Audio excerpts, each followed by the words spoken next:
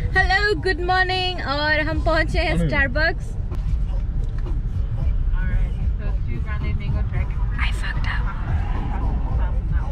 लोग हैं आए स्टारबक्स कॉफ़ी लेने क्योंकि हमें जाना है एयरपोर्ट 6:30 हो रहे हैं और एयरपोर्ट यहाँ से सिर्फ़ 10 मिनट है तो यस पिकअप करके फटाफट एयरपोर्ट जाना है। वहाँ पाँच घंटे की लंबी लाइन लगानी है फिर हमारी बोर्डिंग होगी।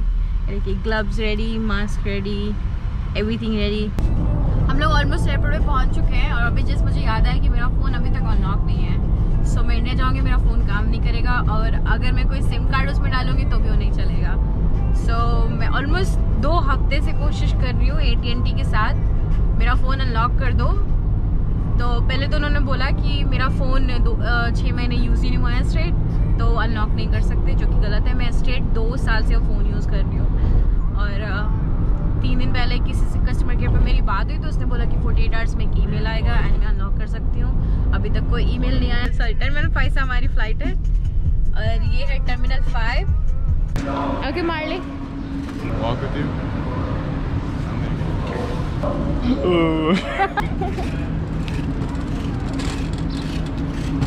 पहली बार ऐसा मुसीबत में फंसा था कभी।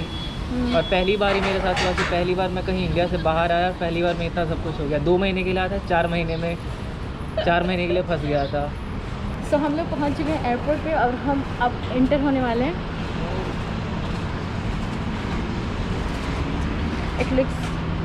हम लोग पाँच घंटा पहले आए हैं यहाँ पर लेट्स सी लाइन बहुत लंबी है।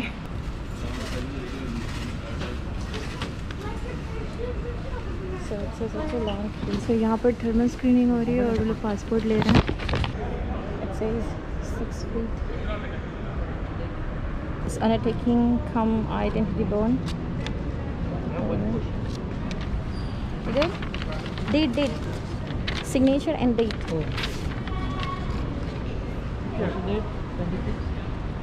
Security checking हो चुकी है सब कुछ बंद है यहाँ पर अब हम लोग वेट कर रहे हैं बोर्डिंग का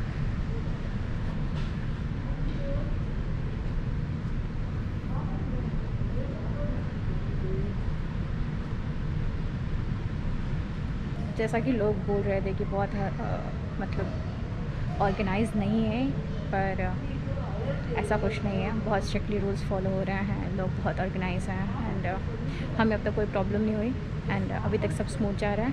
लेट्स होप कि आगे भी सब अच्छा जाए। तो बोर्डिंग ऑलमोस्ट शुरू हो गई है और फ़र्स्ट क्लास पे हो चुकी है। अभी नेक्स्ट हम लोग का नंबर आने वाला है। This is how I look I do like this this gets blocked I mean clogged I can't see anything how I look. yeah this one is good I mean it's clear Better than Air I don't say that. this is too thick. तो so, जैसे boarding शुरू हुई लोगों ने बहुत rush करना शुरू कर दिया कोई सोशल डिस्टेंसिंग फॉलो नहीं कर रहा था। ऐसा लग रहा था कि कैसे वो प्लेन के अंदर जल्दी जल्दी पहुँच जाए। और उस चक्कर में बहुत रश हो गई थी और कोई डिस्टेंस मेंटेन नहीं कर रहा था। सो so, यस yes, ये थोड़ा प्रॉब्लमेटिक था। अगर आप ट्रैवल कर रहे हैं तो प्लीज़ डिस्टेंस मेंटेन करिए अपने आगे एंड पीछे। अगर कोई मान नहीं रहा तो प्लीज़ आप उनसे बात करके बोल दीजिए कि आपसे थोड़ा दूर रहें। प्लेन पहले से ही सैनिटाइज है पर अपनी सेफ्टी के लिए क्योंकि जब लोग अंदर जा रहे हैं तो वो कहीं भी किसी सीट के पास खड़े हो जा रहे थे एंड किसी भी सीट को छू रहे हैं। सो so, अपनी सेफ्टी के लिए अपने साथ कोई सैनिटाइजिंग वाइप कैरी करिए एंड जब आप अपनी सीट पर जाएँ तो प्लीज़ उसे वाइप कर लीजिए जस्ट फॉर सेफ्टी सो जब वो लोग बोर्डिंग के लिए अनाउंस करें तो कृपया अपना नंबर ध्यान से सुनिए, क्योंकि जिस तरह से वो लोग कैटेगराइज करके आपको बुलाते हैं, ताकि पहले की सीटें पहले भर जाएँ और लास्ट की सीटें बाद में भरें तो आप अपने नंबर के अकॉर्डिंग जाएँगे तो आपको चेक इन के लिए जो लगेज रखने की जगह होती है, वहाँ पर स्पेस मिल जाएगा, वरना आप लेट जाएँगे सो अगल बगल की सीटें भर जाएँगी और लोग अपना सामान उसमें रख देंगे, फिर आपको प्रॉब्लम होगी। सो so, अब बात करते हैं कि खाने में क्या था। तो हमने जैसे प्लेन में एंटर किया सबकी सीट पर दो प्लेट खाना चार पानी की बोतलें और एक बाग स्नैक्स का था जिसमें जो हमारा खाने का ट्रे था उसमें एक लंच था और एक ब्रेकफास्ट आए थे। सो उसमें आपको योगर्ट वाटर फ्रूट एंड ये सैंडविच मिल रहा था। सो so, अगर आपको कोई डाइटरी रिस्ट्रिक्शन है तो प्लीज़ अपना खाना साथ में कैरी करिए। प्लेन में आपको खाना लेकर जाना अलाउड है। प्लेन में बैठने के थोड़ी देर बाद उन लोगों ने ये फॉर्म डिस्ट्रीब्यूट किया जिसमें सेफ़ डिक्लेरेशन फॉर्म था और इसमें आपको एड्रेस आपको कहाँ जाना है आपका फाइनल डेस्टिनेशन आपकी हेल्थ हिस्ट्री सब कुछ आपको लिख कर देना था। और ये जब हम लोग इंडिया में लैंड करेंगे तो वहाँ पर हमें देना रहता है। I am not trying to be a bitch but I saw this bug over there क्योंकि वहाँ पर कोई भी एंटरटेनमेंट यूनिट नहीं चल रहा था सो so, हम अपना फ़ोन देख देख कर टाइम पास कर रहे थे। एक पॉइंट के बाद ये बहुत ही अनकम्फर्टेबल हो गया था क्योंकि जो खाने का छः बॉक्सेस थे मेरा मेरे भाई का और हमारी सीट के बीच में एक लेडी बैठी थी उनका। तो मेरे साइड पे पूरा एक लाइक पायल बन गया था उसमें पानी की बहुत सारी बोतलें एंड स्नैक्स के तीन बड़े बड़े पैकेट और ऊपर से इतना सारा पहनकर बहुत अनकंफर्टेबल हो रहा था Please return to your seat and ensure that all your personal belongings are safely placed in the overhead bin. Please keep your seat upright, seatbelt fastened, secure your tray table, footrest and in-arm with your unit.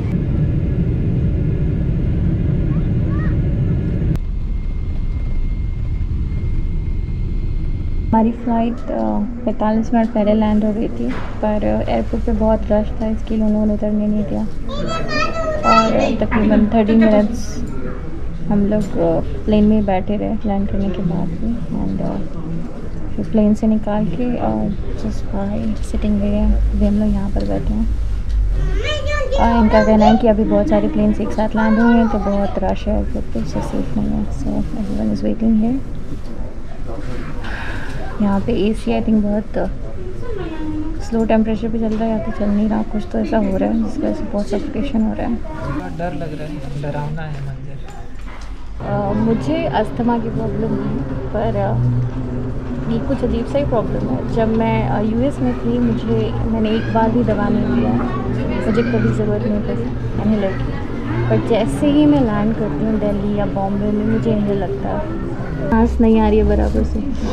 थोड़ी बहुत suffocation हो रही है। हो रही है ना? क्योंकि बहुत देर से ये मतलब बंद बंद लग रहा है लग रहा है कि कैद हो गया। तो it's been almost twenty one hours या हम लोग एयरपोर्ट पाँच घंटा पहले पहुँचे थे बोर्डिंग के। यस सुबह सात बजे हम लोग एयरपोर्ट पर एयरपोर्ट पे पहुँच गए थे और बारह बजे की हमारी फ़्लाइट थी। और चौ साढ़े चौदह चौदह घंटे की हमारी फ़्लाइट थी और उसके बाद हमने प्लेन में आधा घंटा वेट किया और अभी हम यहाँ पर it's very organise and systematic and they are like separating every one in different section and uh, I feel they are trying to maintain everything whatever they can but people are not cooperating literally they're not following social distancing they are sometimes just hoarding it to be first वो लोग passport ले रहे हैं और space को लगा रहे हैं। उसके बाद सब लोग यहाँ बैठे हैं। सो so, इमिग्रेशन से पहले उन लोगों ने हमें थर्टी थर्टी के ग्रुप में डिवाइड किया था और हर एक ग्रुप को एक पर्टिकुलर नंबर दिया गया था और हर एक ग्रुप के साथ एक ऑफिसर असाइन किया गया था जो हमें हर एक स्टेप के लिए गाइड कर रहे थे। This is immigration counter and it's very organized. Just four people queue. Just four people. So so, immigration के बाद हमें अपना लगेज कलेक्ट करना था और जब हम लोग वहाँ पर गए तो हमारा सामान इस तरीके से कुछ दिखा उसमें हमें ढूंढ ढूंढ कर अपना बैग निकालना था बहुत सारे बैग एक ही कलर के थे जिससे ढूँढने में बहुत मुश्किल हो रही थी पर यह सारा सामान मिल गया कुछ भी मिसिंग नहीं था सामान कलेक्ट करने के बीस मिनट बाद तक हमें बैठना पड़ा क्योंकि हमसे पहले वाला जो ग्रुप था उनका कस्टम चेकिंग चल रहा था पानी देखो देखने कस्टम चेक होने के बाद उन्होंने हमें एयरपोर्ट से बाहर भेजा और वहाँ पर एक ऑफ़िस था जहाँ पे हम लोग अभी जा रहे हैं। एयरपोर्ट के जस्ट सामने था।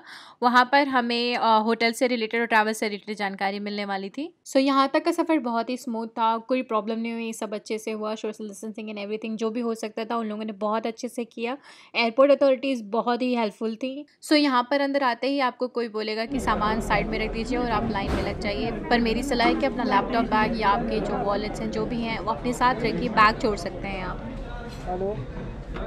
तो हम लोग ने होटल बुक कर लिया है तो यहाँ पर आप और अब होटल चूज़ निकलने कर सकते हैं और अगर आप आपको बाई रोड ट्रैवल करना है तो यहीं पर आपको परमिशन मिलती है उस चीज़ के लिए। सबसे बुरी बात यहाँ की यह है कि यहाँ पर बिल्कुल सोशल डिस्टेंसिंग नहीं हो रही थी, कोई बिल्कुल नहीं सुन रहा था। किसी को ये भी नहीं मालूम था कि उनको क्या करना है, कहाँ जाना है, किसका नंबर आने वाला है, कौन जा सकता है, कौन नहीं जा सकता है। सब बहुत ही कन्फ्यूज़ थे। एक या दो पुलिस वाले लोगों को डायरेक्ट कर रहे थे, बाकी के सब लोग ग्रुप में खड़े हुए थे। I am not blaming any thing but I literally got so pissed पाँच घंटा वेट करने के बाद फाइनली हम लोग बस में हैं। कोई ए सी वेसी नहीं है बस में। सामान भी ऐसे खुद से लोड करना पड़ा। ऑलमोस्ट बारह घंटे होने आए हमने कुछ खाया नहीं है। एक बार पानी पिया पूरे दिन में। डर के मारे कुछ छूने में भी डर लग रहा है सो हम लोगों ने साढ़े बारह बजे लैंड किया था और हमें होटल के लिए निकलने के टाइम साढ़े छः हो रहे थे।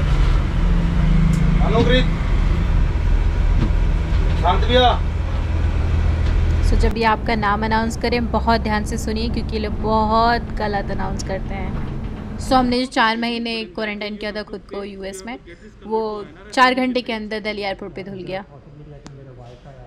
हमारा फाइनल डेस्टिनेशन मुंबई है पर हम फ्लाई नहीं कर पाए क्योंकि हमारे पास कोई ऐसा वैलिड रीज़न नहीं था। तो हमने दिल्ली में एक हफ़्ते के लिए खुद को क्वारंटाइन किया। सो so, हम लोग स्टे कर रहे हैं जे डब्ल्यू मैरिट में और आपको जो होटल के ऑप्शन मिलेंगे उसमें बहुत सारे होटल्स फाइव स्टार हैं जहाँ पर आपको दो लोगों के लिए forty eight hundred plus taxes और एक आदमी के लिए फोर थाउज़ेंड प्लस टैक्सेस है। सो so, ये रहा हमारा फुल डिटेल कि हमने शिकागो टू दिल्ली कैसे ट्रैवल किया और क्या क्या हुआ।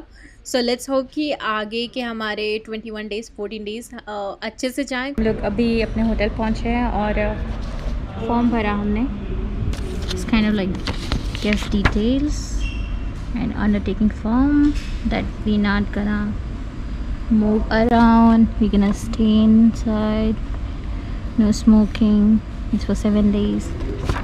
Etc etc so we are staying in JW Marriott for seven days in Delhi and uh, after that we'll see probably we're gonna fly to Mumbai we'll do home quarantine so यहाँ पर रहते हुए हमें चार दिन हो चुके हैं और हमें रूम से बाहर जाना अलाउड नहीं है कोई अंदर भी नहीं आता है अगर हमें कोई सर्विस चाहिए रहता है तो हमें फ़ोन करना पड़ता है और अगर उन्हें अंदर आना है तो वो पूरा पीपी किट पहन के आते हैं हमें बेडशीट भी खुद से चेंज करनी रहती है या कुछ भी चाहिए रहता है तो हमें लिटरली फ़ोन करना पड़ता है और हमें देखे जाते हैं। सो so, अगर आप ट्रैवल करने वाले हैं तो आपको अपना ख्याल खुद रखना पड़ेगा। प्लीज़ मेंटली प्रिपेयर होकर आइए और अपने पास अपना ग्लव्स मास्क सैनिटाइजिंग वाइप जो भी हो सकता है क्लीनिंग मटीरियल्स और छोटे मोटे स्नैक्स एंड पेन अपने साथ रखिएगा। Happy journey stay safe and thank you so much for watching